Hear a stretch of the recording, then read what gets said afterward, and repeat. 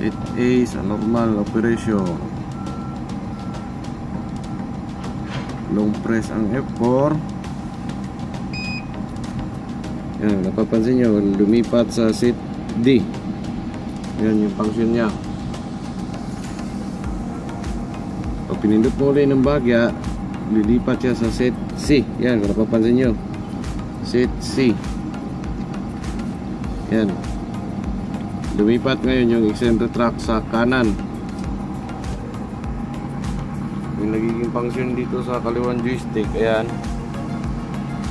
Swing na lang yung gagana sa kanya. Nag-lock na yung cable drum number 2. Yan, mapapansin nyo, pag pinindot uli,